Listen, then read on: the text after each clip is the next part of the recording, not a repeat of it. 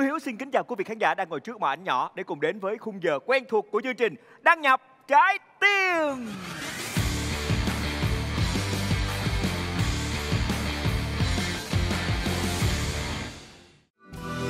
Bao cao su Time Top mỏng hơn để gần nhau hơn. Bao cao su Time Top mỏng hơn để gần nhau hơn. Thưa quý vị, đăng nhập trái tim là một sân chơi tình yêu dành cho đôi lứa khác biệt tại Việt Nam chúng ta khi mà các chàng trai đến từ nhiều ngành nghề lĩnh vực khác nhau cùng đến đây để chinh phục nữ chính của chương trình là một cô gái xinh đẹp và tài năng. Chương trình phát sóng định kỳ vào 22 giờ tối thứ bảy hàng tuần trong khung giờ giải trí trên kênh HTV7 do Đài truyền hình Thành phố Hồ Chí Minh phối hợp cùng Sunrise Media thực hiện. Thưa quý vị, ngày hôm nay thì với biết bao chàng trai đã cùng đăng ký tham gia đăng nhập trái tim, chúng tôi đã lựa chọn ngẫu nhiên ra 6 chàng trai may mắn nhất để có mặt trong đêm này. Và các bạn ấy là ai? Mời quý vị cùng chào đón họ nha. Xin mời.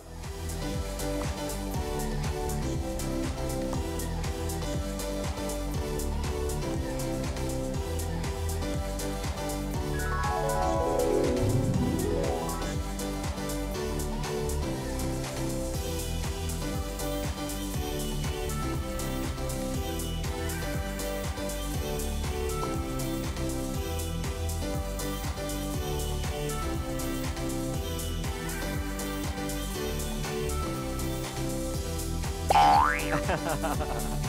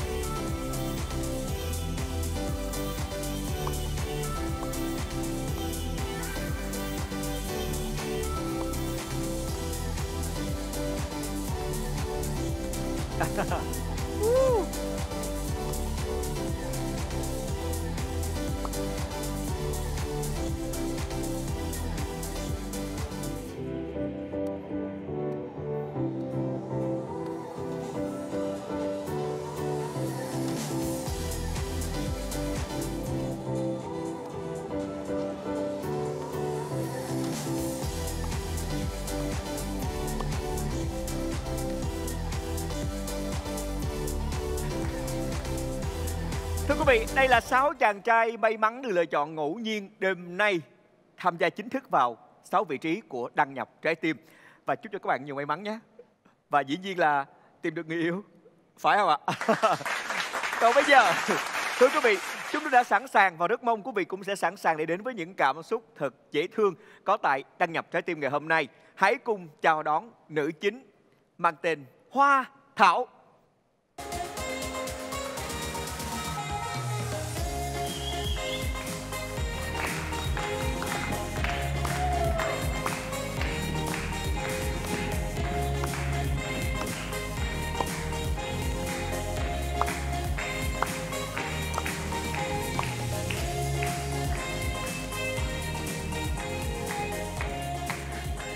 Họ đi như model luôn. Nãy giờ ra chào sáu chàng trai người ta chưa ông? Em quên, xin Em chào. quên. Hồi hộp quá nên là Ờ. quên biết Dạ em xin chào à, sáu anh à, trước lạ sau quen nha. Ừ. Cái kiểu hiểu hiểu tâm lý đó Tại vì mình ra nhiều khi mình hồi hộp á Dạ, đúng Con gái mà cũng thẹn thùng Cho mình tập trung mình ra mình phải đi cho nó thần thái xíu. Dạ. Phải không? Thưa quý vị Hoa Thảo là một cô nàng diễn viên rất là quen thuộc với chúng ta Hoa Thảo từng đạt thành tích là top 5 duyên dáng sông vàm Và top 13 gương mặt điện ảnh Dạ Ngày hôm nay ngọn gió nào đưa em tới đây đây? Dạ ờ, Cái ngọn gió là chắc à, ế quá Nên Rồi, là mình- mình giảm tham gia vui để xem có tìm được một chàng trai nào Ờ. à, có thể đăng nhập được mình à, vào trái tim mình hay không Ừ. nhiều khi em lên sóng truyền hình mình nói giảm nói tránh mình đừng nói từ ế nha. Dạ Ừ. ờ, kiểu như mình ờ, kiểu mình một mình lâu năm cũng được kiểu nhưng vậy. mà, mà sự thật nó vậy biết sự thật nó vậy mình chấp nhận. Dạ. Đúng không?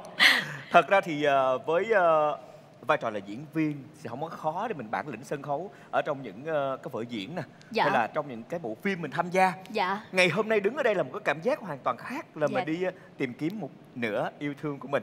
Dạ. Thì cảm xúc mình như thế nào chắc khó nói bởi vì lần đầu tiên mà lên sóng truyền hình mà đi tìm ờ, một nửa của mình thì ờ, hơi ờm, hơi hồi hộp. Có cái cảm giác hồi hộp đó nghĩa là mình có cảm xúc. Dạ. Mình cũng đang mong chờ xem là không biết chàng trai nào sẽ mạnh dạn để có thể chiếm lấy những cái cảm xúc đầu tiên giữa sự gặp mặt nhau dạ. mình và bạn ấy. Phải không? Dạ. cho nên không sao cả cảm xúc hồi hộp nó nghĩa là tốt còn lên đây mà em thấy bình thường. Đúng không? Là thấy Dạ. tiêu rồi. Ngày hôm nay đến đây với ai nào? Dạ ngày hôm nay em đến đây với lại bạn thân của em. Bạn thân? Dạ. Thân rất thân không? Thân lắm lắm. Thân lắm lắm. Dạ. Vậy thì cùng anh hiếu di chuyển bên đó để chào đón bạn ra sân khấu nha. Dạ. xin mời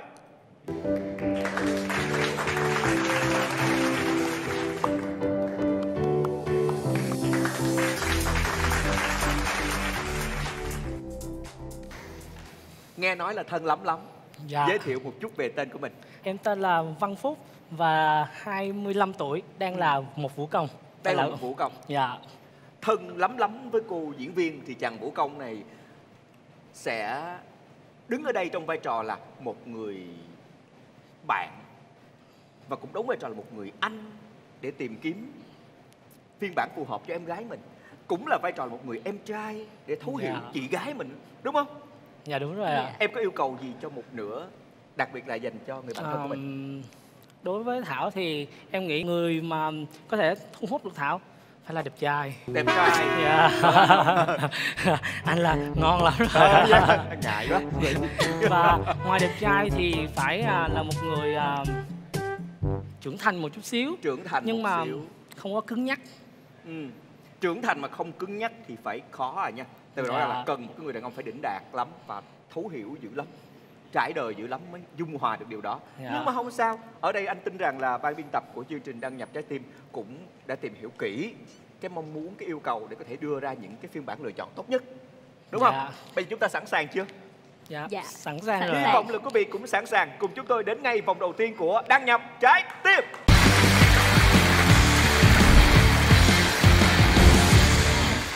Thưa quý vị, chuẩn bị bước vào vòng đầu tiên của đăng nhập trái tim mang tên là bí mật động trời thì chúng ta sẽ có đôi ờ, lời giao lưu với Hoa Thảo đây cũng như là người bạn thân nhé. Thật sự mà nói nha, anh Hiếu cũng khá là thắc mắc tại vì thường là chúng ta làm công việc nghệ thuật nè thì chúng ta vừa biết giữ gìn cái ngoại hình của mình đúng không? Dạ. Chúng ta vừa cởi mở trong các mối quan hệ phải không? Và chúng ta dễ có cảm xúc nữa mà tại sao đến giờ phút này thì lại lẻ loi một mình? Ờm, em nghĩ là chắc do em kén quá hay sao á? Ừ, chứ không phải do định mệnh. dạ chắc vậy. Kén quá. Kén. Kén là tại vì cái yêu cầu mình nó cao hơn hay là mình có một cái vết một cái phẩy gì đó của mối tình trước mà làm mình ngại mở lòng ra không? Ừm, cũng cũng có thể là một phần. Ừ. ờ, do là em ờ, chắc là nặng tình quá. Khi mà em yêu là em nặng tình lắm mà một khi đã yêu rồi á là em xác định dài lâu chứ không có kiểu là quen chơi hay là chơi cho biết không chơi cho biết vậy. hay là tìm hiểu đại đại mấy tháng. Một khi đã quen là em muốn xác định lâu dài luôn. Ê, trước giờ mình mấy mối tình rồi? Một. Một mối tình duy nhất thôi. Ồ và bây giờ là sẵn sàng là tìm kiếm một mối tình bền lâu như vậy nữa. Chắc vậy mối tình trước để lại cho em cái cảm xúc gì? Và nó để lại cái kỷ niệm buồn là buồn như thế nào hay vui là vui thế nào? Có gì đáng nhớ ở mối tình đầu không? Em nghĩ là mối tình đó là để lại rất là nhiều những cái kỷ niệm vui cho em. Vui Ờ. đúng không? Mặc dù là đã tan vỡ rồi nhưng mà vui là vẫn vui. Dạ đúng rồi. Bởi vì đó cũng là mối tình đầu của em mà. Ừ. cho nên là kỷ niệm vui em sẽ nhớ nhiều hơn là kỷ niệm buồn. Dạ. Dạ. Thì um, quen năm đó là năm 18 18 tuổi Dạ 18 tuổi lúc đó ngây thơ không biết gì từ dưới quê lên um, thành phố Hồ Chí Minh lập nghiệp. Sau đó thì uh, gặp anh rồi uh, lúc đó là hai đứa không có biết gì hết á, cũng không có nói chuyện nhiều. Ờ, được ờ, không hiểu sao ảnh tự nhiên ảnh giúp đỡ mình ờ, tìm phòng trọ. Ờ, à tại, vì ảnh nghe qua một cái chị làm chung nói là đang tìm giúp mình xong rồi ảnh thấy ờ, mình cũng khó khăn như thế nào đó cái ảnh giúp ảnh giúp rồi cái hôm bữa đó là cái kỷ niệm đó là em nhớ nhất trong cái tình yêu của em luôn là bữa đó mưa tầm tã luôn. Ảnh chạy một cái chiếc xe gắn máy rất là cũ kỹ. Ảnh chở em đi tìm phòng trọ mà lúc đó có một cái áo mưa rách. Ừ. mà hai đứa hai đứa mặc chung một cái áo mưa rách không biết mặc làm sao luôn không biết mặc làm sao luôn. Rồi cái ảnh nhường luôn cái áo mưa đó cho mình để che che cho mình. Xong rồi siêu lòng thì thật sự là chưa siêu lòng đâu. Bởi vì lúc đó là 12 năm trời học ở nhà trường em chưa hề có bạn trai cũng chưa biết cái cảm giác mà quen bạn trai như thế nào. Thì khi mà được một người anh giúp đỡ như vậy thì mình cũng nghĩ bình thường. À, lúc đó là không có nghĩ gì sâu xa hết á. Xong rồi một tuần sau một tuần sau thì anh nhắn tin anh ngỏ là anh quen mình. Lúc đó em chưa có đồng ý đâu. Mình chưa đồng ý đâu. Xong cái một tháng sau cái dưới cái sự mà quan tâm kiểu mà từng chút chút một của anh anh thấy Hiểu cũng dễ thương mưa dầm thấm lâu. Sau rồi em cũng ờ, hơi đồng ý quen thử quen thử thôi. Lúc đó là còn đinh lên là quen thử thôi nếu như mà cảm thấy ờ, không được thì ờ, chia tay. Nhưng mà quan trọng cho anh hiếu hỏi nè cái kỷ niệm tình đầu nó nên thơ như vậy làm mình nhớ và mình cảm thấy vui vì có những kỷ niệm như vậy thì lý do gì chia tay? Ờm, chắc nghĩ là càng ờm, nhiều nhiều năm á quen lâu quá cho nên là đâm ra là nó bị ờ, bị nhạt đi. Từ phía ai? Ai? Em nghĩ là cả hai. Ai cũng thay đổi có nghĩa là không còn cùng quan điểm nữa thì dừng lại. Rồi bây giờ anh hỏi tới bản thân nè. Nãy giờ khi mà nghe hoa thảo chia sẻ anh hiếu tự cảm nhận rằng là thảo là một người cũng cá tính và Dạ. cũng quyết đoán trong những cái quyết định của mình. Chứ không phải là cô gái yếu đuối yếu mềm đâu rõ ràng qua cách kể lại câu chuyện cũ một cách rất là thoải mái mạch lạc mà không có gì gọi là ờ, giống như kiểu nó bị ờ, vướng bận qua là cho qua rồi đó giống kiểu như vậy thì riêng bản thân em theo em thì điểm mạnh của thảo là gì và điểm yếu của thảo là gì À, Thảo là một người à, rất là hoạt bát, ừ. cũng vui vẻ mà đó cũng là một điểm yếu của Thảo. ồ Dạ. Hay à, giấu cảm xúc á anh. À nghĩa là cô này Đó. trang bị cho mình một cái mặt nạ bên Dạ. ngoài kiểu vậy đúng không Dạ đúng rồi ạ. Thì à, ngoài mặt với mọi người thì cũng vui vẻ hoạt bát nhưng mà đêm về ờ, à, alo Phúc ơi hôm nay trời ơi tao chịu hết nổi được này nọ các kiểu hả? dạ đúng rồi trời ơi xong rồi cũng khóc um sùm cũng phải qua dỗ dành này nọ nhưng mà khi mà xong cái lúc đó rồi thì Ừ. qua một ngày mới thì luôn đón nhận cái mới đó là một năng lượng tích cực hơn Ừ. thì chỉ để cái nỗi buồn đó một mình mình thôi Ừ. đó thì những người xung quanh cứ nghĩ đây là một cô gái mạnh mẽ ờ, anh ấy ấn tượng vậy dạ ai nhìn vô cũng vậy hết ạ em thấy lợi thế chưa cái lợi thế của việc mà dẫn bạn thân lên sóng truyền hình là bị lộ mặt nạ lúc nào cũng hay nhưng mà không sao đôi lời Dạ. tâm sự đó để thấy là trong con người chúng ta đôi khi chúng ta cũng phải cần trang bị cho mình một cái gì đó nó mạnh mẽ bên ngoài. Để Dạ. sao? Khi buồn gọi điện cho bạn thân khóc cho đã một trận. Ngày mai thức dậy đi làm tươi tắn xinh đẹp. Dạ. Đúng không? Dạ. mình có quyền có những khoảnh khắc đó và có quyền có những người bạn thân. Chào đón hai bạn cùng đến đây.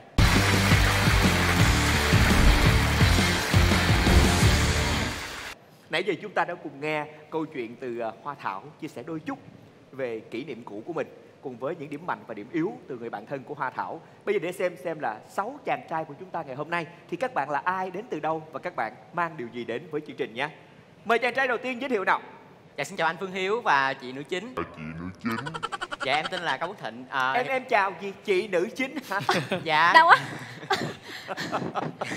trời ơi anh tức á anh Dạ tức chị ơi. Anh yêu em. ủa chị ơi yêu em à. Nghề nghiệp của em là sinh viên, nghề nghiệp của em cũng là tự do, ai cái gì làm đó.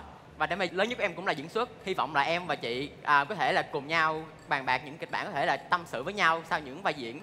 Ồ. Và, và tới đây em muốn gửi chị mà đôi lời là em đây cứ mãi đi tìm tìm đường đăng nhập trái tim của nàng cho em đăng nhập trái tim của chị nha Ồ. ông này ông làm thợ thợ đụng đụng đâu làm đó chàng trai kế bên giới thiệu nào Chào anh Phương Hiếu và chào à, bạn nữ và bạn thân lắm lắm của bạn nữ. Mình là Nhật Ân, mình hiện đang là nhân viên kinh doanh căn hộ mini. Và nếu bạn nữ có nhu cầu thì à, mình có thể à, deal cho bạn nữ một phần nào đó. ồ dễ sợ chưa ủa em ơi là mình giới thiệu hay mình mua tặng Mình à, mé mé trước anh à mé mé chứ à. Mé mé. thôi thôi anh hiểu rồi anh xin lỗi anh hiểu rồi nha giữ lại chút nữa giữ lại chút nữa bung sao nha chàng trai tiếp theo Xin chào MC Phương Hiếu, xin chào mẹ nữ chính cùng toàn thể mọi người có mặt trong trường quay. Em tên là Nhật Nam. Em hiện tại đang sinh sống và làm việc ở thành phố Hồ Chí Minh. ạ. Công việc hiện tại của em là diễn viên tự do. Ngày hôm nay ờ, em đến đây ờ, là để ờ, tìm cho mình một nửa của bản thân và cũng để ờ, giao lưu học hỏi để ờ, biết được tính cách của tất cả mọi người ở đây dạ để ờ, có thể hoàn thiện bản thân hơn trong cuộc sống sau này. anh hiếu hỏi nhỏ câu này nha nhưng mà ai cũng nghe hết đó chính là em thích bạn nhỏ tuổi hay là lớn tuổi Gu của em là lớn tuổi. gu của em là lớn tuổi hả Dạ. Ừm, có bộ ổn đấy chàng trai tiếp theo xin mời Dạ, em chào MC Hương Hiếu, chào chào bạn nữ, chào bạn của bạn nữ. Em, em đây là Phạm Huỳnh Minh Tân, em à, đến từ Đắk Lắk. Em đến đây à, là để muốn đăng nhập trái tim của bạn nữ. em em em làm công việc gì Dạ, em làm công việc kinh doanh tự do. kinh doanh tự do mình chuyên về lĩnh vực nào cưng hả Dạ, em mua bán xe máy, mua bán xe. Ừm. anh thấy tướng tá nhìn xa là cũng cao ráo đúng không dạ cao ráo có tướng tá làm sao tới giờ còn độc thân đó ông kia Không, dạ, không biết tán gái. không biết tán gái hả chết rồi cái kiểu hồi hộp kiểu mà mà mộc mạc á cái kiểu không phải là một tay sát gái á. Dạ. anh thấy cái gu này là cũng là cái gu cơ dễ bản thương dễ thương em đúng thấy không? dễ thương Ờ, anh thấy cũng ổn đấy rồi cái ông kế bên vừa mặc đồ ờ, ngon lành à xin chào bạn giới thiệu đi nào Dạ, em chào anh Hiếu và chào bạn nữ chính và tất cả à, quý vị và bạn thân của bạn nữ chính có mặt trong trường quay ngày hôm nay. À, em tên là Cường Ô Tiết, em à, đến xuất xứ từ nghệ thuật, chân lý thiện mỹ. Em đều có ba chân. Em là một ca sĩ của công ty giải trí Hey Âu. Hiện tại em là thành viên thay thế à, Hồ Gia Hùng của HKT. Vai phụ của em nữa là đó là em cũng là diễn viên tự do và dancer, rapper. dữ thần quá tài năng rồi dữ thần không phải thể hiện cái gì đó cho nó khác với các bạn hồi nãy giờ đi nè Nhưng em cần cái việc gọi em muốn ngày mai cái đôi gối em bầm mà Có thể là trong bếp Có thể là sofa như sầm mấy idol bên cạnh là mình đi nhắc với cô ta Gì yeah, yeah. dạ À. thì ra đây chỉ là rapper được tiếp theo chàng trai còn lại Vâng, em chào à, anh à, Phương Hiếu cũng như à, bạn nữ chính cùng với tất cả mọi người có mặt tại nơi đây. Em tên là Thân Nhân Hải, hiện em sống ở tại huyện Củ Chi. Năm nay em 31 tuổi, công việc của em là ảo thuật già. Hôm nay em đến với chương trình đăng nhập trái tim thì em cũng muốn thử sức mình để có thể nào đăng nhập cùng với nữ chính được không ạ? Em thấy hoa thảo ổn không? Dạ ổn ạ, rất ổn xinh đẹp. ạ. à quyết tâm lên nha. Dạ, em làm sao mà dùng cái kỹ năng ảo thuật của mình biến cái năm ông kia mất tích là em thắng? Dạ, à, giờ nữ chính đã đẹp như vậy rồi, có thể về em em sẽ biến à, đẹp hơn nữa ạ. dữ à, giống như ông phẫu thuật thẩm mỹ vậy. Không biết đẹp hơn. Chào đón sáu bạn cùng đến với đăng nhập trái tim. Rất mong là với những chia sẻ từ nãy giờ thì quý vị khán giả ngồi trước bạn nhỏ cũng đã có một cái nhìn tổng thể về hoa thảo cũng như là sáu chàng trai đã may mắn được chương trình lựa chọn ngẫu nhiên. Ngay bây giờ sẽ là lúc hồi hộp đầu tiên của chương trình. Khi chúng ta cùng chuẩn bị đến với bí mật động trời của hoa thảo. Bí mật động trời này là một bí mật mà trong tình yêu chắc chắn là một trong hai người đều phải chia sẻ cho đối phương. Để xem xem họ có đồng điệu hay không. Đó là một bí mật có thể khiến người ta suy nghĩ khác về tính cách thậm chí là có cái nhìn khác về cả một con người cơ. Liệu rằng ngày hôm nay với một cô nàng diễn viên xinh xắn, lanh lợi, cũng có những phút yếu lòng và nội tâm, sẽ mang đến chương trình bí mật động trời. Đó là gì? Mời sáu chàng trai hãy tập trung hướng mắt vào vị trí trung tâm của sân khấu. Xin mời bí mật động trời của hoa thảo.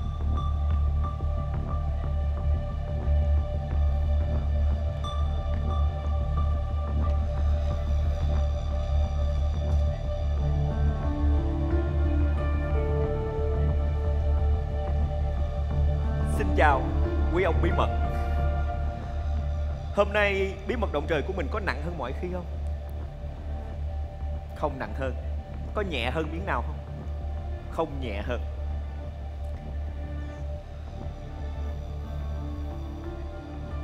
Cái gì không nặng, không nhẹ cũng gây tò mò. Hít xin phép được mở.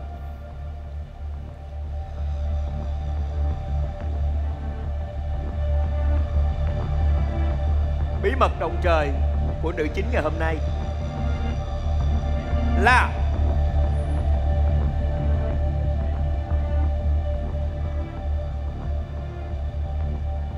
Cảm ơn bạn.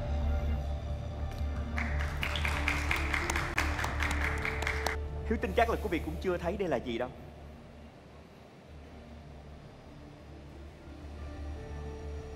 Một chùm chìa khóa.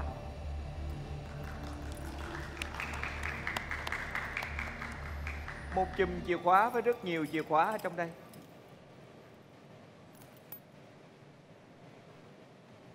Đây là tượng trưng cho bí mật động trời mà Hoa Thảo muốn giấu và chỉ tiết lộ cho người mà cô ấy mong muốn tìm hiểu để xem xem có nhận được sự đồng điệu hay không. Các bạn hãy đoán xem chùm chìa khóa này tượng trưng cho điều gì? Ai có ý kiến? Dạ theo à, theo em là cái à, bí mật của bạn Thảo này là chìa khóa. Em nghĩ là nếu mà ai mà là người yêu của à, bạn Thảo chắc là có thể là bạn Thảo sẽ phá trong đó suốt đời. Khóa chàng trai đó suốt đời. Dạ. Mình nghĩ là hạnh phúc thôi Chứ đâu có gì đâu phải giấu Nên nhớ đây là một bí mật Mà Hoa Thảo muốn giấu Và chỉ chia sẻ với một người Tâm đầu ý hợp với mình Để mong tìm kiếm sự cảm thông. Mời em. À, theo em nghĩ uh, chùm chìa khóa này có thể là tượng trưng cho uh, tình yêu trước của bạn nữ. À. và chàng trai đã dường như là khóa trái tim cô ấy lại và cô ấy đã không hề yêu ai trong suốt thời gian qua. Và ai mà muốn yêu cô ấy thì hãy đến và mở ổ khóa đó ra. Thì cô đó sẽ có thể là đón nhận chàng trai đó để quên đi quá khứ của mình Nghĩa là cô ấy đang cần ở một người đàn ông phải nỗ lực nhiều nhiều nhiều hơn rất nhiều Để làm trái tim cô ấy có thể tươi sáng trở lại. Anh nghĩ đó cũng không có gì là bí mật động trời. Còn em? Dạ thưa anh là theo em nghĩ ngoài nó là chìa khóa ra thì nó cũng phải là vũ khí và chị Thảo đã từng gây tổn thương hoặc là làm gì đó có thể là ném vô người khác chùm chìa khóa đó làm người khác có thể là bị chấn thương và phải nằm bệnh viện. Ồ, một cái suy luận mang màu sắc trinh thám hình sự. Nhưng mà nãy giờ không ai liên tưởng chìa khóa này liên tưởng đến ngôi nhà nha thưa quý vị mọi suy luận từ nãy giờ đều uh, có lẽ vì quá cảm mến hoa thảo cho nên các bạn đều suy luận theo một hướng khá là tích cực. Và toàn là tích cực thôi chứ không có gì xấu xa cả. Nhưng mà rõ ràng là nếu mà ai đã từng theo dõi đăng nhập trái tim đều biết vòng này của chương trình chắc chắn phải có điều gì đó. Đáng suy ngẫm. Và Hiếu sẽ mang chìa chìa khóa này trở về với Hoa Thảo để làm rõ vấn đề ngay bây giờ nhé. Gửi là Hoa Thảo. Dạ. Hãy đứng dậy và bình tĩnh, tự tin, nói thật to.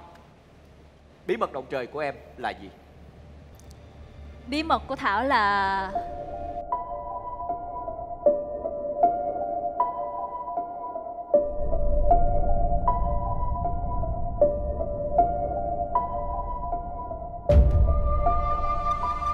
Thảo không muốn có bạn trai ở nhà thuê. Hả? Bí mật động trời của Hoa Thảo là không muốn có bạn trai ở nhà thuê. Liệu rằng với bí mật động trời này để được bật mí ra Thì sáu chàng trai ngay lúc này sẽ đưa ra quyết định như thế nào? Các bạn sẽ có hai lựa chọn. Một là đăng nhập. Nếu tiếp tục muốn tìm hiểu Hoa Thảo Và cảm thông bỏ qua cho bí mật Nói thực tế là một yêu cầu vừa rồi của Hoa Thảo Đối với một người bạn trai tương lai. Còn nếu như các bạn cảm thấy yêu cầu đó không phù hợp. Các bạn có quyền đăng xuất. 30 giây dành cho 6 chàng trai chúng ta suy nghĩ, bắt đầu.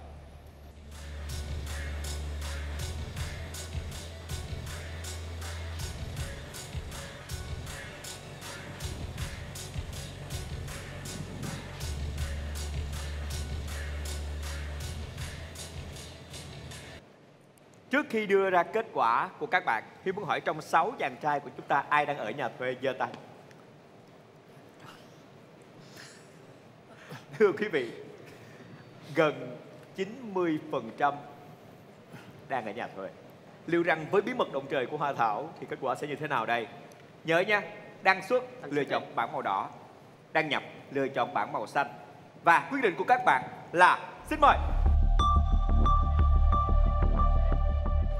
Thưa quý vị, mặc dù đến hơn phân nửa trong số các chàng trai chúng ta đang ở nhà thuê Nhưng mà lại có 5 lựa chọn đăng nhập và chỉ có một lựa chọn đăng xuất thôi. Vậy thì mời chàng trai lựa chọn đăng xuất ra sân khấu.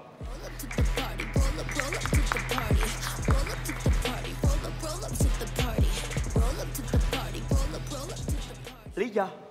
Dạ, à, theo em nghĩ thì à, lý do mà em à, đăng xuất à, khi à, biết bí mật động trời của à, Hoàng Thảo thì à, cảm thấy à, mình là con trai mà khi à, bạn gái mình không muốn tìm một bạn trai để tìm một bạn trai có nhà cửa thì em cảm thấy là mình ở nhà thuê mình không đủ cái điều kiện để đáp ứng cho một bạn gái xinh đẹp như vậy thì em chọn cách em đăng sức ạ. Nhưng mà em có mong muốn và có nỗ lực để có thể tìm được và mua được một căn nhà cho riêng bản thân mình hay không? Trong quá trình sau này, chẳng lẽ ở nhà thuê hoài? Dạ thì à, cái đó thì mình là con trai mà anh thì à, mình cũng phải à, nỗ lực phấn đấu để mình cũng có tiền để mình mua một căn nhà riêng cho mình sau này ạ. Thưa quý vị, đó là suy nghĩ Hiếu nghĩ rằng cũng hợp lý thôi. Ngay bây giờ thì để xem xem đầu đuôi câu chuyện là như thế nào. Mời em giải bài câu chuyện của mình. Thật sự thì cái bí mật này á là Thảo muốn làm bài test cho tất cả các bạn ở đây. Chứ thật sự là Thảo không quan trọng hay là có định kiến ghét bỏ gì về việc bạn trai mình ở nhà thuê hết. Thảo chỉ muốn là xem các bạn ở đây có quan điểm và suy nghĩ như thế nào về cái việc mà ở nhà thuê và khi mà bạn gái mình nói như vậy. Thảo ở nhà thuê từ nhỏ tới lớn rồi. Thật sự là không hề có nhà thật luôn. Từ năm mẫu giáo cho đến bây giờ Thảo ờ, đi làm luôn, Thảo vẫn ở nhà thuê và cho nên đó là thảo cần một cái người đàn ông có thể nghèo về vật chất nhưng mà không thể nghèo về ý chí và tư tưởng. Bây giờ anh còn trẻ anh có thể uh, nghèo có thể thiếu thốn này nọ. Nhưng mà anh không thể không cho người thân hay là vợ anh hay là gia đình của anh một hy vọng trong hôn nhân á sau này dài lâu. Thì uh, hôn nhân có thể nghèo như thế nào cũng được nhưng mà không thể không có hy vọng. Và khi mà thảo nói lúc đầu là thảo đã xác định quen một ai rồi á thì thảo sẽ đi dài lâu đó là lý do tại sao mà thảo cần một người có nhà. Bây giờ còn trẻ có thể ở nhà thuê hai đứa cùng làm cũng được. Thảo không cần phải áp đặt cái người đàn ông đó phải lo cho thảo. Nhưng mà hai người phải cùng quan điểm cùng suy nghĩ cùng nhau đi lên cùng xây dựng. Chứ đừng để thảo mơ hồ trong mơ hồ cứ ở nhà thuê nhà trọ như vậy suốt hoài sau này còn con cái sau này nữa. Đó là cái bí mật của thảo. Test ha, thử ha. Rồi, giờ sao? Dạ thì à, lúc đầu thì à, em cũng nghe sơ lược qua những cái à, tâm sự của à, bạn Thảo rất nhiều thì à, em cũng nghe là bạn Thảo nói là từ đó giờ bạn Thảo là ở nhà thuê. Nên à, khi nghe bí mật đồng trời của bạn Thảo á thì em nghĩ là bạn à, đó giờ bạn đã khổ rồi. Thì bây giờ à, bạn phải à, cần có một à, người chồng là phải có nhà cửa để à, bạn ấy không được khổ nữa là em nghĩ suy nghĩ như vậy nên em mới à, chọn cách đăng sức ạ Vậy bây giờ có muốn đăng nhập trở lại không?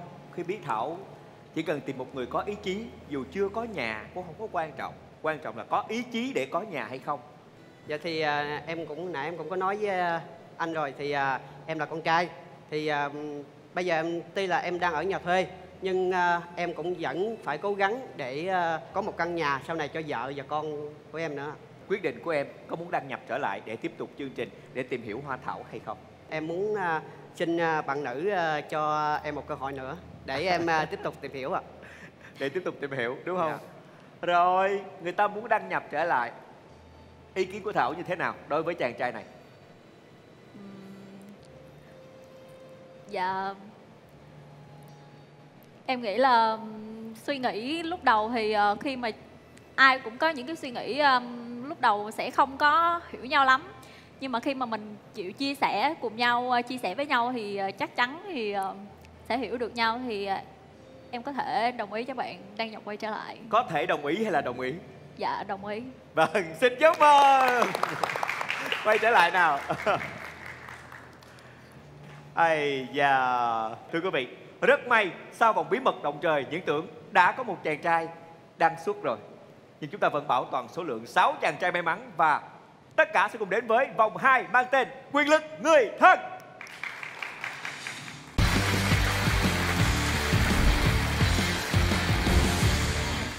Thưa quý vị, ở vòng 2 quyền lực người thân này thì người thân đi cùng với Thảo, cụ thể đây là bạn thân của Thảo sẽ là người đưa ra quyết định đăng xuất hoặc là đăng nhập. Dựa vào việc người đó có xứng hay không xứng với Thảo hoặc là bạn nam đó có phù hợp hay có yếu tố nào, tính cách nào phù hợp với Thảo hay không. Thảo ơi, em đến đây với bao nhiêu phần trăm sự tin tưởng vào người bạn thân của em? 95% Tại sao giữ lại 5%? um, 5% tại vì à, đôi lúc bạn thân thì bạn thân nhưng mà cũng sẽ chắc chắn cũng không thể nào hiểu hết được những cái tâm tư hay là những cái nguyện vọng trong em hay là thực sự là có phải là một người đàn ông đó thích hợp với em với em hay không Đủ lý do hết thân rồi đó dạ Hiểu không? Tại vì rõ ràng bạn thân mà nó không tin mình thì chơi làm cái gì nữa? Thôi đi về chứ chơi bời gì nữa giờ. Đúng không? Nói gì thì nói. Đó là suy nghĩ riêng của Thảo. Còn bây giờ mời em xuống đây cùng với anh Hiếu thực hiện quyền lực người thân.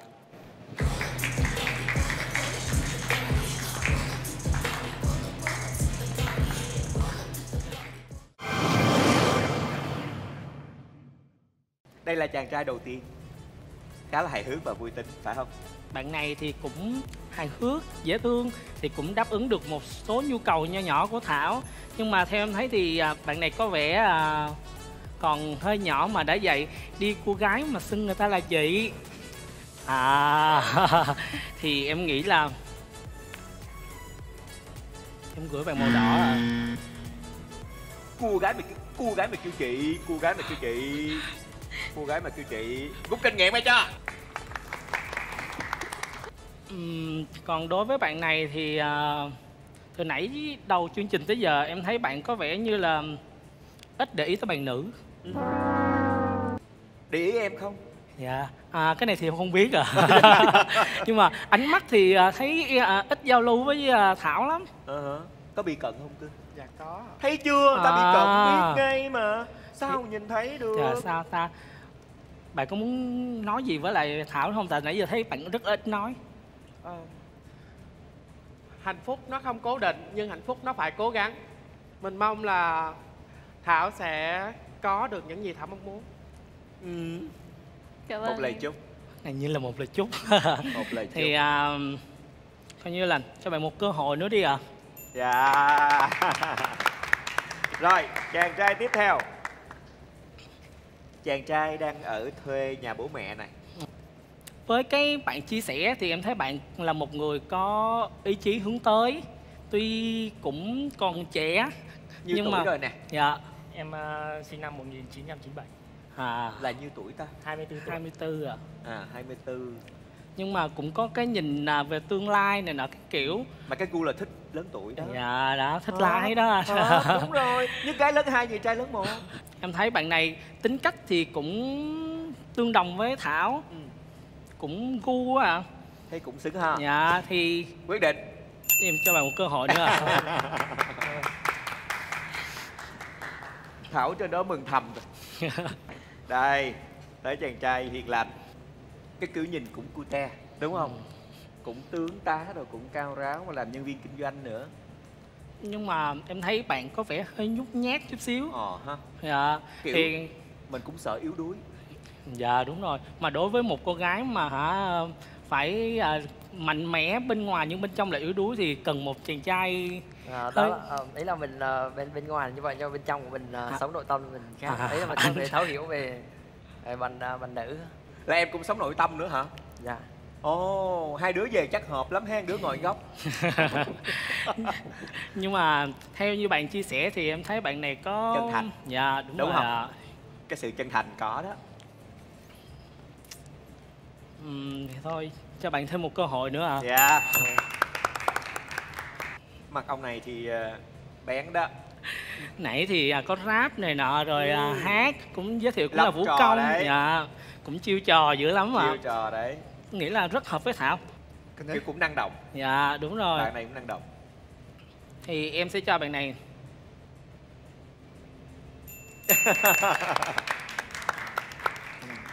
Rồi còn lại đây thì sao? Em nghĩ anh này sẽ không hợp với thảo. Không hợp ở điểm nào? Dạ thì về à, cách suy nghĩ của thảo á thảo là một người phải nói là dễ mềm lòng. Ừ. nên tất cả những chia sẻ của người khác thảo dễ siêu lòng và dễ bỏ qua hết. À. nhưng mà đối với một người bạn như em thì từng tiếp xúc với thảo nhiều rồi từng thấy thảo bị này nọ các kiểu thì em em không bỏ qua. Dạ. Em sẽ đóng vai ác trong cuộc đời của thảo ạ quyết định của em là dạ. Em xin lỗi anh ạ. Ây da, rồi cảm ơn em rất nhiều. Về chỗ nào? Thưa quý vị, quyền lực người thân là vậy. Thậm chí thì nữ chính của chúng ta trong chương trình Đôi khi mỗi người sẽ có những tính cách khác nhau Và dễ mềm lòng trước những chia sẻ của các chàng trai Nhưng quyền lực người thân thì không. Và quý vị thấy đó, kết quả đã có. Một lần nữa mời quý vị cùng xem lại Kết quả đăng nhập và đăng xuất sau phần quyền lực người thân. Mời các bạn dơ bản lên.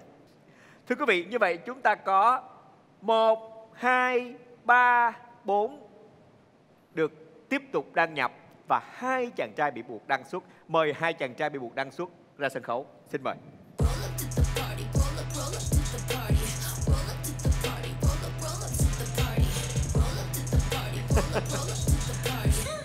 Ây da, chàng trai ảo thuộc gia anh không muốn gặp lại em chút nào ở chỗ này hết Mà tự nhiên định mệnh đưa em gặp anh một lần nữa ngay vị trí này. Dạ. Đúng không? Nhưng mà không sao đừng lo. Bây giờ cả hai em sẽ đều có một cơ hội nữa. Đó chính là mình sẽ dùng một câu nói chân thành. Thả thính nhẹ trong đó chút xíu. Càng chân tình càng tốt. Để chia sẻ trực tiếp với Hoa Thảo. Nếu như Hoa Thảo mềm lòng Hoa Thảo sẽ là người đứng ra thuyết phục người thân của mình. Cụ thể đây là bạn thân Để cho các bạn đăng nhập trở lại. Và anh không muốn hai bạn chia tay chút nào. Cố gắng lên trong phần thử thách này nha. Rồi, mời Hoa Thảo xuống sân khấu Hai em qua đây.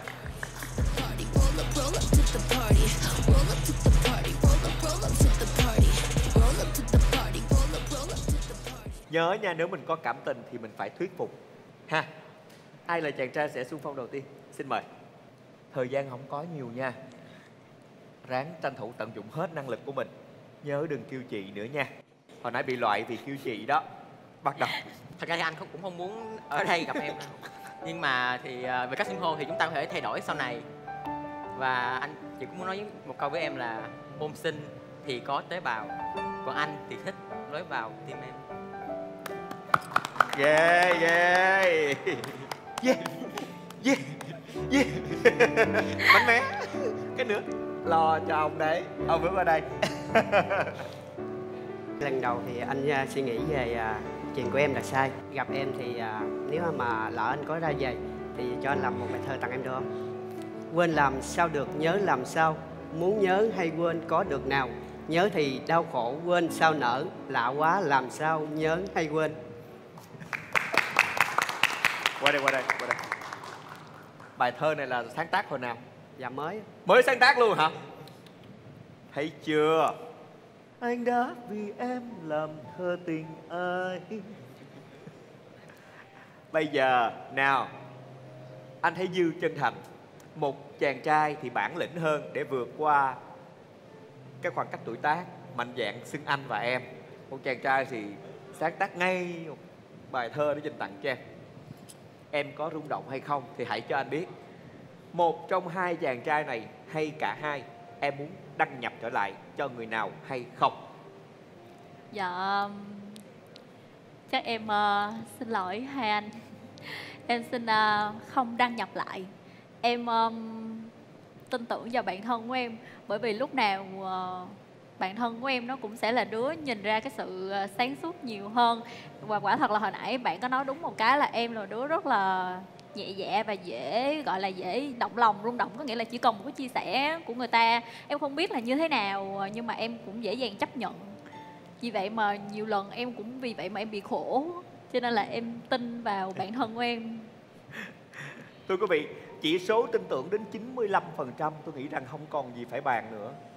Nó gần tuyệt đối rồi. Rất tiếc, mặc dù hai bạn đã rất là nỗ lực, đúng không? Nhưng mà đây là quyết định của nữ chính Hoa Thảo. Cảm ơn các bạn đã nhiệt tình đến đây vì Hoa Thảo. Chúc các bạn nhiều may mắn.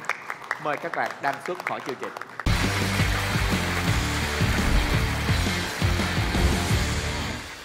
Thưa quý vị, từ 6 chàng trai may mắn qua vòng quyền lực người thân thì chỉ còn có 4 chàng trai tiếp tục được đăng nhập mà thôi. Vậy thì ngay bây giờ hãy cùng đến ngay với vòng 3 của đăng nhập trái tim.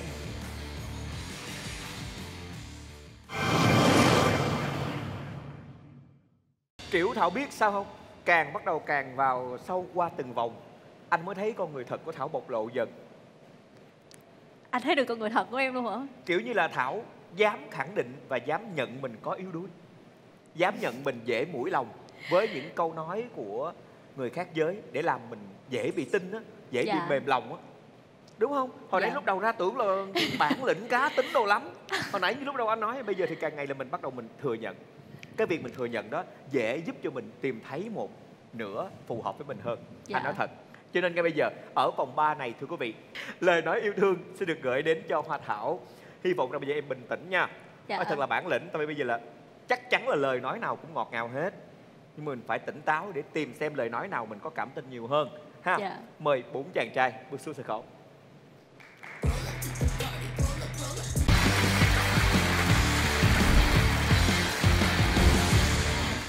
Thời gian dành cho em bắt đầu. À, từ khóa ngày hôm nay ờ, mà mình mang đến chương trình dành cho Thảo là từ ngon. ngon. Hay là chàng trai này nói thảo ngon ta quá ngon này cũng ờ, một chiến thuật đấy đúng Ngon. không ông này cũng chơi chiến thuật đấy sao ngon gì gì ngon nói Có lẽ là con đường ờ, ngắn nhất đi đến tình yêu chắc là qua đường dạ dày nhỉ. Cho nên là Thảo ờ, nghĩ sao về một chàng trai biết nấu ăn? Mình có thể dồn tâm tư vào những món ăn khiến chúng ngon miệng hơn đối với Thảo. Và từ ngon cũng có thể dành cho Thảo đấy. Tại vì thực sự Thảo là một ờ, cô gái quyến rũ mà. Cho nên là từ khóa ngày hôm nay em chọn là từ ngon. vậy thì điều chân tình mà em muốn nói với thảo là gì Điều chân tình của em muốn nói với Thảo là nếu như ngày hôm nay ờ, em có thể quen Thảo thì em muốn nói với Thảo là trước khi ờ, gặp Thảo thì em chưa quen ai nhưng mà khi gặp Thảo rồi thì em cũng không muốn thêm một ai nữa trong cuộc đời mình. ai da ai da đau tim quá đau tim quá men hơi đập xíu rồi đó anh. Phê chưa phê chưa? Phê rồi đó anh. Phê phê đúng không? Tỉnh táo tỉnh táo nè tán tán tỉnh tán tỉnh. Đúng rồi đúng rồi tỉnh táo lại. Chưa mới mới có có cấp độ 1 thôi. Chàng trai thứ hai. Xin mời bạn. Từ khóa mình mang đến là khỏe. Khỏe.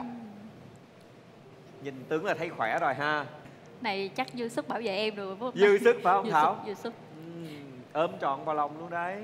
Em muốn nói điều gì chân thành qua từ khóa này? Em nói đi mạnh Dạ. dạn lên từ khóa này là sức khỏe. Sức khỏe ở đây chính là sức khỏe để bảo vệ người con gái mình yêu cũng như là sức bền để bảo vệ các con của chúng ta sau này. ây da cảm ơn bạn rất là nhiều về vị trí nào. Chàng trai tiếp theo mời. Chìa khóa của anh là đắng. Từ khóa là đắng à, đắng là trên cuộc sống này trên cuộc đời này có lẽ sống của anh đó. Nếu mà anh và em có duyên với nhau ờ, thì bao nhiêu cây đắng trên cuộc đời này anh sẽ dẹp hết dập tắt hết và anh sẽ đưa em đi đến lẽ sống tốt nhất và hạnh phúc nhất. Ồ ơi, nhìn con trai tao không chớp mắt luôn rồi Trời em không cái cảm giác tự nhiên bị bị bị, bị đứng tim trong mấy khoảnh khoảnh khắc. Tình yêu xét đánh. Dạ. Kiểu như mình có tín hiệu đúng không? Dạ Hèn chi soi dữ quá. Nói lời Xong chân rồi. tình xong chưa? Xong rồi về chỗ? Đứng nhìn con gái người ta hoài. Trời đất ơi. Còn bạn nữa. Lại đây cái Lấy tay ra khỏi túi là không rung nè. Đó để tay vô túi là còn rung. Cố gắng lên. Từ khóa của anh là kiệm Kiệm. Tiết kiệm. Ờ, và anh, anh có thể tiết kiệm lời nói nhưng mà anh không tiết À. kiệm ờ, tình cảm và tiền với em. Ừm, như vậy thì ờ, em sẽ hơi khó đoán nếu như một người kiệm lời nói quá mà em cứ phải lúc nào cũng phải suy nghĩ anh đang suy nghĩ cái gì thì nó sẽ khó trong một mối quan hệ. Tại sao anh lại chọn cái từ kiệm đó? Ờ, vì anh vì anh ờ, vì anh ờ, ít nói. Em thì lại suy nghĩ nếu như mà ít nói thì cũng không gọi là một từ khóa. Em lại nghĩ theo một cái hướng là tiết kiệm cái gì về vật chất để cùng dành dụm tạo dựng một tương lai hay như thế nào đó kiểu như vậy cùng em xây đắp anh kiệm lời nói cũng được nhưng mà cái kiệm lời nói đó phải đi kèm với cái hành động. Anh có thể không nói nhưng mà em cần anh hành động.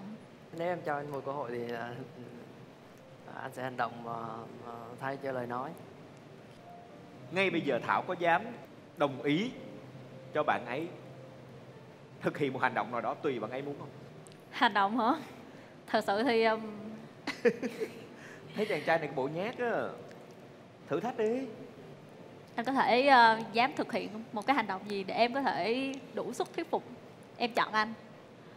Anh uh, có thể nắm tay em để nếu nếu em cảm nhận thì thì uh, cho anh một cơ hội.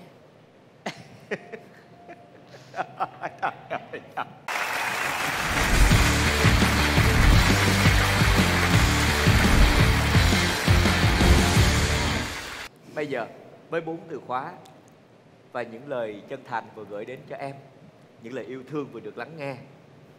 Thì hãy cho anh hiếu biết xem xem là em đang có cảm xúc nhiều hơn với chàng trai nào trong số bốn chàng trai này. Suy nghĩ kỹ nha. Thật ra thì kiểu bốn bạn này ở ngoài xã hội có rất là nhiều. Quan trọng là cái gu của mình chọn và cái gu của mình mong muốn người đàn ông của mình sau này như thế nào thôi. Có gu của em trong đây không? Có một hay nhiều? Một. Một. Ừ vậy thì ổn rồi. Quyết định nào? Chàng trai phải đăng xuất đầu tiên theo em là chàng trai số mấy?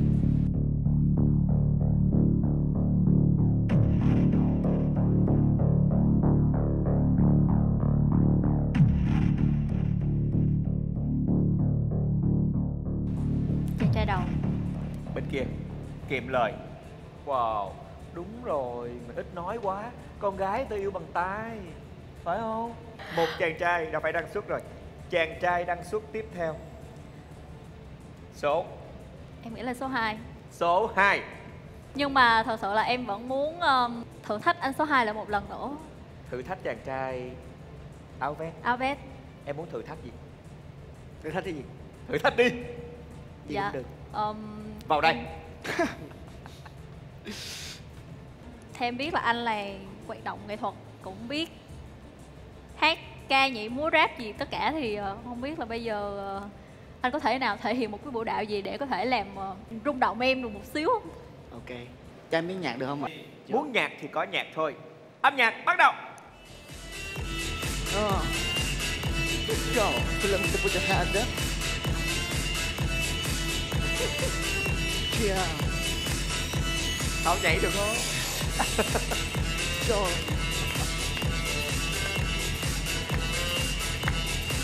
Put your head down. dạ. Thảo đơ luôn. Dạ em cảm ơn anh. Kêu người ta thử thách ta thử thách rồi. Nãy giờ mới có đăng xuất một chàng trai thôi. Vẫn còn ba chàng trai là vest xám sơ mi trắng mặc áo khoác đen. Người thứ hai em muốn đăng xuất là ai thật sự thì ờ, với cái màn vũ đạo hồi nãy ờ, nó cũng chưa hẳn làm rung động với tim nó như một chỉ là một cái màn trình diễn để thể hiện thôi nên là em cũng chưa tại vì em cần anh có thể kéo em tương tác với nhau. À, nhưng mà anh lại nhảy một mình. Thì Ok. đâm ra là em cảm thấy hơi hụt hẫng một xíu. Em cứ nghĩ là anh sẽ cùng nắm tay em lên nhảy chung hay như thế nào đó. Em cứ Ok. đưa tay đợi chờ như vậy nhưng mà rốt cuộc anh lại nhảy một mình. Nên là em rất tiếc là chết rồi. Cái sự chưa hiểu nhau này làm buộc đi một cơ hội thấy rõ. Dạ đúng anh hiểu rồi. rồi anh hiểu thảo cần một sự kết nối từ chàng Dạ, trai của đúng mình rồi. chứ không phải là một chàng trai thích thể hiện đúng không? chính xác. Trời ơi nhưng mà bạn này là dư sức làm chắc tại vì hồi nãy tưởng kêu người ta nhảy người ta nhảy thôi. Hồi nãy em có nói rõ là em cần anh thể hiện một cái vũ đạo gì đó có thể làm cho em cảm thấy rung động hay là thể hiện tình cảm gì đó với em. Anh ra anh nhảy nhảy trình diễn anh tôn trọng điều đó Dạ. và cũng hợp lý. Vậy chàng trai đăng xuất tiếp theo là ai? Dạ là anh áo vest. Anh số 2 chỉ còn hai chàng trai áo sơ mi trắng và áo khoác đen. Chàng trai đăng xuất thứ ba là ai? Em nghĩ là em sẽ chọn chàng trai um, có cảm tình. Có cảm tình nhất. Đó là chàng trai nào? Anh áo khoác đen đồng nghĩa với việc ba chàng trai còn lại chính thức đăng xuất khỏi chương trình. Rất tiếc và cảm ơn các bạn đã đến với đăng nhập trái tim ngày hôm nay. Chúc các bạn nhiều may mắn nhé hẹn gặp lại.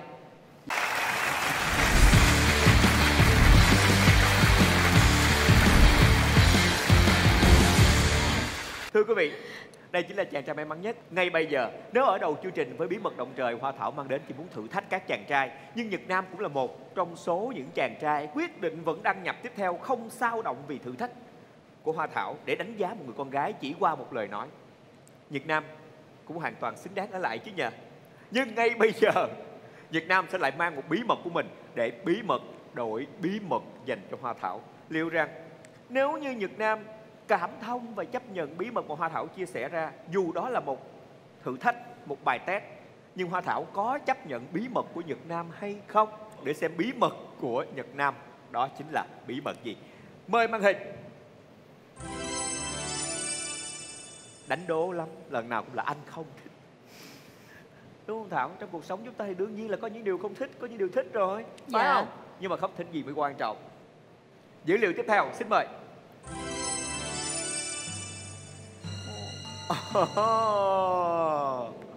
Không thích chu cấp cho Đoán thử xem Bạn thân của Thảo với một chàng trai như đã chia sẻ từ đầu chương trình mà bây giờ với lại một thông điệp là anh không thích chu cấp.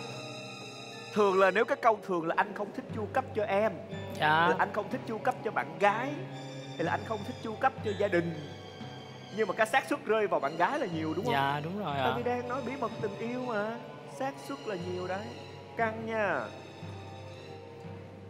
Này chỉ có thể là anh không thích chu cấp cho bạn gái Ờ, xác suất nó cao xác suất đó cao nhất chỉ có cái đó thôi gia đình thì xa quá Ừ. tại vì Nhưng mà nếu nó đúng là anh không thích chu cấp cho bạn gái thì em thấy sao? em thấy bình thường Ừ. bởi vì ờ, em cũng không thích là sẽ dựa dẫm bạn trai của em Ừ. cho nên là cái việc đó em thấy bình thường Ngọn ngành câu chuyện ra sao? Mời mở dữ liệu còn lại Xin mời À, cũng vậy nó cũng như nhau Nó dạ. cũng như nhau thôi Dạ. Không thích chu cấp cho người yêu Rõ ràng hồi nãy Thảo nói ngay từ đầu là mình Kiểu như mình đang ở nhà thuê mà dạ Em nghĩ sao hiện nay đang có những điều mà các chàng trai và cô gái độc thân đang bàn tính với nhau khá nhiều là nếu trong một buổi đi ăn có nên tiền đó xe ra cho cả hai không? Hay là bạn trai phải có trách nhiệm trả tiền còn cô gái thì chỉ ăn thôi tại vì là con gái mà là người yêu mà quan điểm đối với em trong tình yêu là bình đẳng. Nếu như mà bạn trai có thể chi cho em thì càng thích chứ sao? Tại vì ờ, ảnh yêu thương mình thì ảnh muốn lo được cho mình thì ảnh ảnh chi. Nhưng mà có những lúc rồi thì em nếu như em trong khả năng của em thì em cũng có thể chi được. Ăn những cái món ăn nho nhỏ lề đường ăn kem ăn cái gì chiên cái gì đó thì em cũng có thể tự chi. Chứ đâu nhất thiết lúc nào cũng phải bắt anh người yêu chi. Cho nên là em thấy um, cái quan điểm đó mà bắt bạn trai chu cấp hẳn hoi chi hẳn hoi thì em em cũng không thích lắm. Dạ tại vì em vẫn thích là độc lập hơn không thích dựa dẫm ở một người bạn trai nhiều. Vậy bây giờ anh hỏi Nhật Nam này. Em không thích chu cấp cho người yêu của mình Là vì em không muốn thể hiện mình ga lăng Hay vì em không có điều kiện kinh tế Hay vì À. em muốn trong tình yêu thì nó bình đẳng Tự lực cánh sinh Và đến với nhau chỉ vì tình yêu chứ không phải vì tài chính? Đối với em thì ờ, với một uh, nữ chính ờ, có cá tính ờ, cũng gọi là mạnh như uh, Hoa Thảo thì em nghĩ là việc chu cấp cho cô ấy mà khi mình không dùng hành động mà mình chỉ nói với chu cấp cho cô ấy thì cô ấy sẽ cảm thấy động đến lòng tự trọng của cô ấy. Mình có thể chu cấp cho cô ấy nhưng mà bằng một cách khéo léo nhất mình có thể đi ăn san sẻ với cô ấy. Ừ, với em cái từ bí mật động trời anh không thích chu cấp cho người yêu cũng không có gì là động trời lắm. Nó động trời là do người khác nghĩ thôi còn đối với em thì ờ, anh không thích chu cấp cho người yêu là anh muốn ờ, nếu mà yêu nhau thì hai đứa cùng cố gắng. Chúng ta sẽ hạnh phúc hơn khi ờ, mọi thứ công bằng như ờ, bao người mong muốn thôi. Dạ. À, ra là vậy. Thưa quý vị Dần dần chúng ta đã thấy đáp số đang về cùng một hướng rồi đấy. Vậy thì ngay bây giờ không chần chờ gì nữa Sẽ là thời khắc quyết định của Đăng nhập trái tim ngày hôm nay Hai bạn sẽ đứng hướng nhìn về nhau. Và sau tiếng đếm 1, 2, 3 Nếu như Hoa Thảo đồng ý cho Nhật Nam Là chàng trai còn lại đăng nhập trái tim của mình Để chính thức có thời gian tìm hiểu nhau. Hoa Thảo chỉ cần bước lên một bước Gửi một chiếc ôm rất là chân thành Đến cho Nhật Nam. Còn nếu như Thảo vẫn không đồng ý Vẫn thấy chưa đủ Hay bất kỳ những cảm xúc nào Cảm thấy không muốn tiến tới để tìm hiểu Thảo cứ đứng tại chỗ không làm gì cả. Em nghĩ bạn đăng nhập này như thế nào? Em muốn thành công hay không thành công? Em muốn thành công. Em muốn thành công. Tại vì sao? Tại vì thấy hai bạn có chung một suy nghĩ. Thảo cũng là một người rất là độc lập về kinh tế cũng như cuộc sống của mình. Và bạn nam cũng có một suy nghĩ tương tự như vậy. Thì à, em nghĩ là hai bạn có vẻ sẽ nếu như mà Kết quen nhau được lại. dạ đúng rồi thì giống như hổ mọc thêm cánh phải không? Dạ đúng rồi ạ đó là ý kiến của người thân. Mà anh hiếu chỉ hỏi bâng quơ để cho vui thôi. Quyết định còn lại vẫn là thảo nhé. Dạ. Bây giờ chúng ta cùng xem kết quả đăng nhập trái tim ngày hôm nay như thế nào. Một hai ba.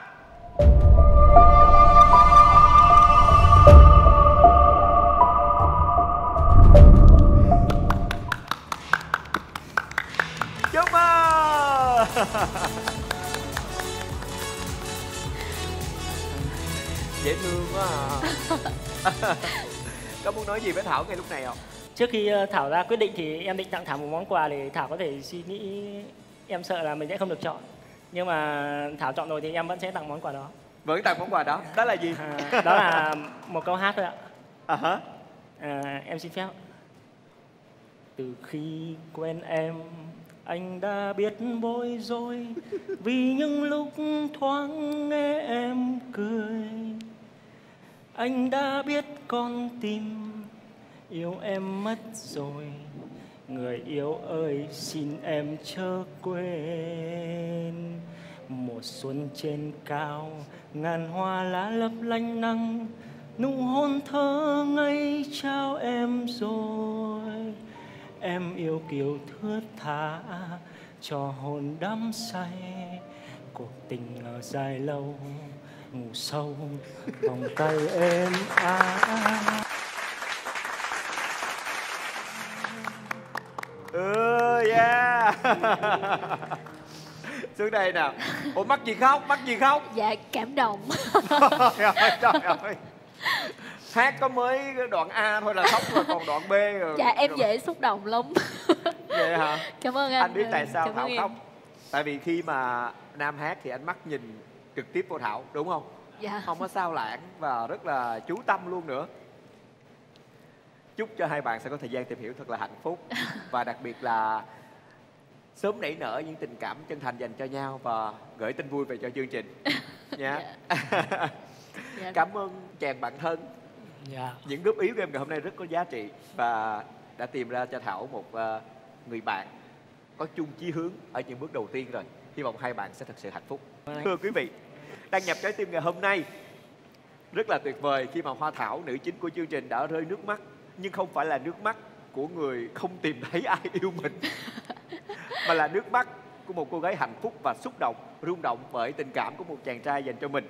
Hy vọng hai bạn sẽ có thời gian tìm hiểu thật là lý tưởng và gắn kết bên nhau đừng quên đón theo dõi chương trình đăng nhập trái tim vào khung giờ quen thuộc của chúng tôi là 22 giờ tối thứ bảy hàng tuần trên kênh HTV7 chương trình do đài truyền hình thành phố Hồ Chí Minh phối hợp cùng Sunrise Media thực hiện. Còn bây giờ, chúc quý vị một đêm ngon giấc với những cảm xúc đông đầy của tình yêu ngày hôm nay. Xin chào và hẹn gặp lại trong đăng nhập trái tim tuần sau.